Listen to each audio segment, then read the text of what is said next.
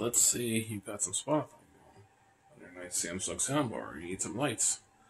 Well, your Guardian Angel Elite Light is also great for party lights. To think this thing is that small, and you get such crazy lights.